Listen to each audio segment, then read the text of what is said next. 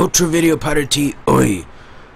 Micro Slop, Micro Crap, Microsoft, however you refer to them, released another update recently, Windows 10 update version 1607 build 14393 447 and 14393 448, part of KB 3200970.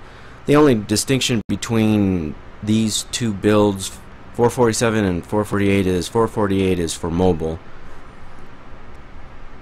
Now this was released about a week ago. Update resolves 10 security vulnerabilities for not just Windows 10 but also Windows Server 2016, 32-bit and 64-bit versions of their operating system, Internet Explorer Cumulative Security Update, Boot Manager Security Update, Microsoft Virtual Hard Drive Security Update, Windows Authentication Method Security Update, Kernel Mode Driver Security Update, Common Log File Systems Driver Update, Microsoft Graphics Component Update, Video Control Security Update, Windows Security Update, Edge Cumulative Security Update.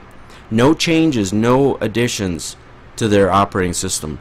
Just some security vulnerabilities and some improvements, if that could be an oxymoron. But moving on.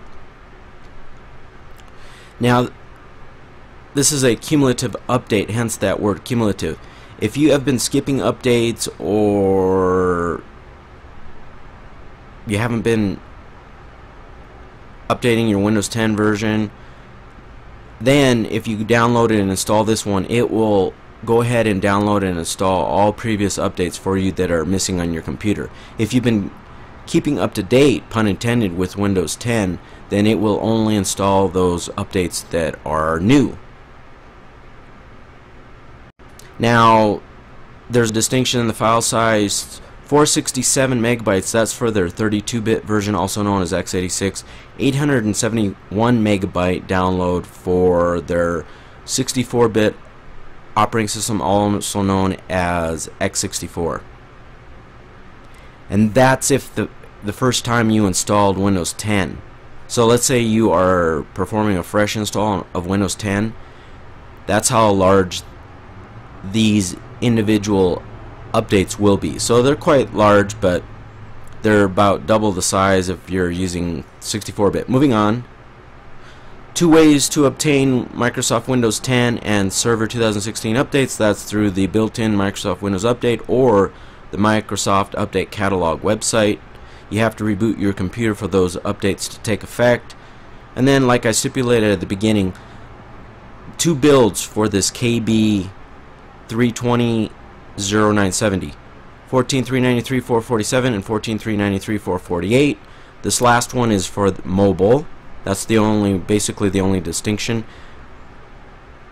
And then I didn't include it in my blog post because you know what I'm saying and society doesn't like plagiarism. I don't I'm not a big fan of copyright but that's another video. I'm not really my political ideology is far, far away from most Americans, but that's a different discussion.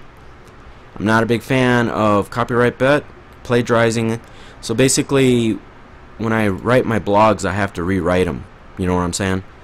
But I decide to link to it. And we can check out these two right here.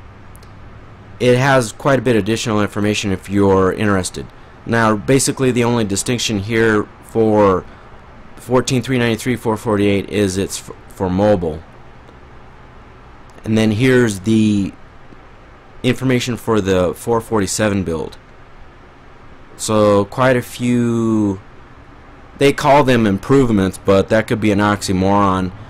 Later down the road they may have caused further problems but back up your data. Here's a possible tip or recommendation is you should probably always back up your data whenever you go ahead and, and install Microsoft's secure their updates because you just never know especially with Windows 10 oh I forgot to mention Microsoft Edge does not work on my here I can try it again. It has not worked for like the last two months. It just doesn't work. It opens up and I see the the logo but then it just disappears I'm not going to read all of these because they're quite lengthy, but you can see them on screen and then you can access them via my blog post and I will include a link to my blog post at my website anetcomputers.com so that you can peruse this information on your own accord and I, hopefully it's productive for you. But as you can see there's quite a few issues addressed. There's more specifics. Multimedia, VPN, task scheduler, APN, method editor, Wi-Fi connection, no oh, no Wi-Fi connection in the system tray, etc. Adios.